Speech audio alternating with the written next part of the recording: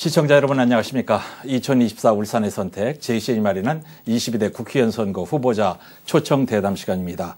앞으로 4년간 울산을 위해서 일할 지역의 대표 일꾼을 뽑는 4.10 총선을 앞두고 유권자들의 선택에 도움을 드리기 위해서 후보자들을 초대해서 말씀을 듣고 있습니다. 자, 균형을 가져야 되기 때문에 질문을 두 후보에게 같은 질문을 드린다는 점을 미리 말씀드리고요. 자, 오늘은 울주군에 출마한 두 분 후보 말씀을 듣겠는데 먼저 기호 순서대로 기호 1번 더불어민주당 이선호 후보입니다. 어서 오십시오. 안녕하십니까? 반갑습니다. 자, 공식 선거 운동이 시작돼서 time is money가 아니라 time is 표 아닙니까? 귀한 시간 내주셨습니다. 자, 이번 선거에 왜 출마하셨는지 배경, 이유부터 좀 들어볼까요? 안녕하십니까. 더불어민주당 울주군 국회의원 후보 이선호입니다. 고작 대통령 한 사람 바뀌었을 뿐인데 겨우 2년 만에 민생이 무너졌습니다. 높은 물가에 서민들은 하루하루 힘들어 하는데 대통령은 대파 한 단에 875원 한심한 소리만 하고 있습니다. 정권 심판만이 무너진 대한민국을 바로 세울 수 있습니다. 울주군의 민심도 이제 정권 심판으로 가고 있습니다. 저희 선호가 정권 심판에 앞장서겠습니다. 예. 자, 이제 이선호 후보만의 경쟁력. 왜 이선호 후보가 이번에 당선이 돼야 되는가? 그 이유가 되겠죠? 어떻게 설명하시겠습니까? 저는 울주군에서 쭉 자라왔습니다. 그리고 또 제가 구- 군대 3년 외에는 울산을 벗어나 본 적이 없습니다. 그래서 울산과 울주군을 너무나 잘 알고 있고요. 또그 와중에서 제가 울주 군수를 하면서 울주군 구석구석 그리고 울주군 행정을 너무나 잘 알고 있습니다. 그 와중에 제가 민선 질기 때 산재군 공병원을 울주군에 유치해 왔고요. 예. 또 농산물 도매시장도 울주군에 유치해 왔습니다. 네. 그래서 그 공약 이행률도 96%로 제가 이 전국 지자체 중에서도 아주 좋은 성과를 냈다고 평가하고 있고요. 음, 저는 다른 서후보와 달리 울주군에서 너무나 잘 알고 있기 때문에 완전한 강점을 갖고 있다고 저는 확신합니다. 예. 지금 유권자들을 많이 만나고 계실 텐데요. 지역의 유권자들이 이선호 후보를 만나면은 주로 어떤 얘기들을 많이 하시던가요? 저는 울주 군수를 하면서 많은, 많은, 많은 사람들이 이런 이야기를 하십니다. 아, 정말 군수라기보다는 옆집 아저씨 같다는 이런 말씀을 많이 하시거든요. 그 이유는 제가 울주군이 이 경직된 수직적 문화를 수평적으로 돌렸다는 거 생- 자부합니다. 네. 그래서 많은 사람들이 저에게 아주 편안하다. 그리고 한번 결정하면 끝까지 밀어붙인다. 이런 좋은 이미지를 들고 있다고 저는 확신합니다. 예.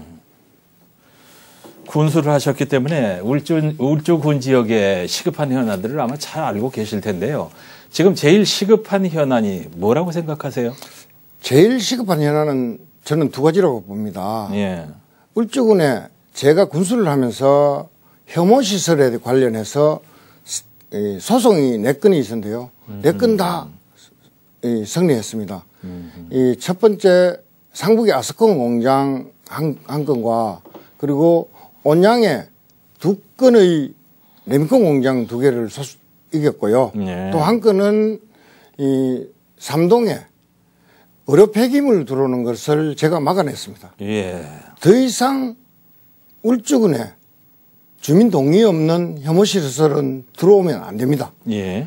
그런데 지금 이 서범수 후보나 저나 똑같이 남북권 10만 정주권 도시를 이야기하는데 이 10만 정주권 도시의 바로 인접배 한 지역에 산업 폐기물이 들어오는 걸로 되어 있습니다. 예. 근데 제가 군수 시절에 이 부분에 대해서 이 도시계획위원회를 거쳐서 폐, 이, 불가 처분을 내린 적이 있습니다. 예. 그 자리에 지금 들어오고 있거든요. 네. 그래서 이 부분은 완전히 어떤 경우라도 저는 막아내야 된다고 생각하고요. 그 다음 두 번째, 울주군은 정말 어, 교통 약자들이 많이 사는 곳이고요. 예. 울주군이 울산시의 거의 3분의 1을 차지하고 면적이 서울시의 1.2배나 되는 예, 넓은 넓어요. 곳입니다. 굉장히 넓어요. 예. 그런 과- 과정에 지금 버스 노선을 계약하고 있거든요. 울산에서. 예. 그런데 집권 여당의 후보들이 아무 말도 하고 있지 않았습니다. 지금까지. 예. 그냥 우리가 이 부분 계약에 대해서 반대를 하니까 마치 우리도 그러면 반대한다. 이 정도로 지금 이야기를 하고 있거든요. 집권 여당의 후보라면 그리고 같은 시당 시장 같은 군수라면 사전에 협의하고 협상해서 주민들이 이렇게 붕괴하지 않을 때 먼저 협상으로 끝내야 될 때 건데 주민들이 붕괴하고 또 야당이 반대한다니까 이제 나도 반대한다. 이런 이 잘못된 것을 지금 국민의힘 후보들이 하고 있습니다. 예. 그래서 저는 이 두 건은 반드시 막아내야 한다고 생각합니다. 예. 자, 이제는 이제 울주 군민들이 궁금해하시고 울산 시민들이 좀 궁금해하는 걸 제가 좀 여쭤보겠습니다.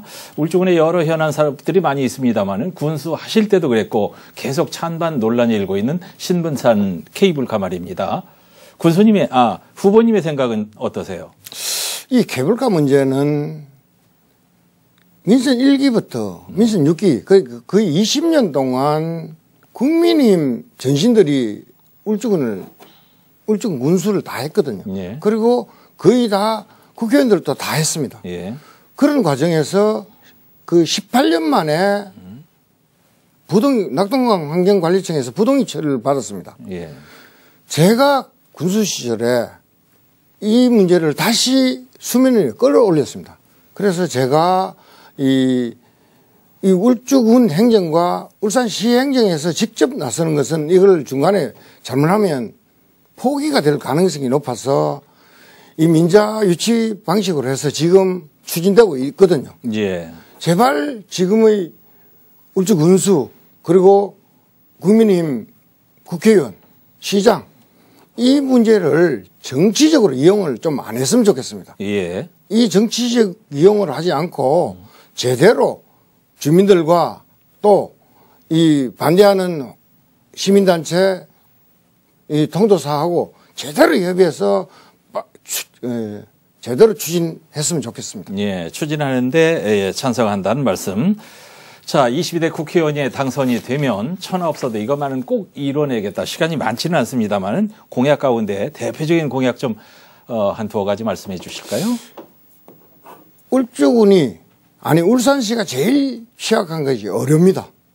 모든 게 네네, 예, 의료. 의료 시설이 너무 취약한데요. 예. 제가 군수 시절에 산재공공병원을 수십 년 동안 못 하던 것을 울주군에 유치해 왔습니다. 예.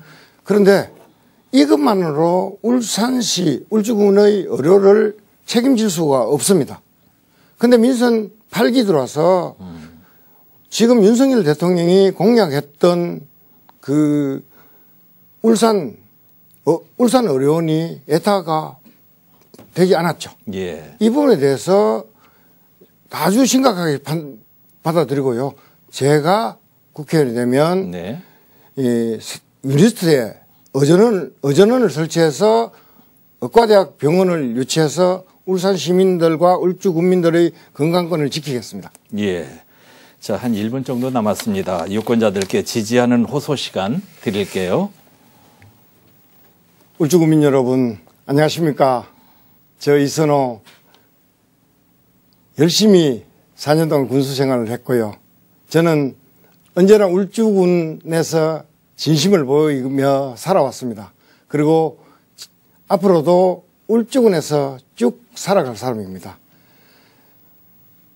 상대 후보처럼 서울 목동에 45평 아파트를 들고 있고 부산 해운대에 63평의 아파트를 들고 있고 울산에 그냥 4천만 원짜리 전월세에 사는 후보가 아닙니다. 저는 끝까지 울산을 지키고 그리고 울주군을 사랑하는 후보입니다. 저 이손을 선택하면 울주군의 미래가 바뀌고 우리 어르신들의 노후가 바뀔 것입니다. 저 이손을 선택해 주십시오. 예. 시간을 잘 지켜주셔서 감사하고요. 고맙습니다. 네. 감사합니다. 울주군에 출마한 기호 1번 더불어민주당 이선호 후보와 말씀 나눴습니다.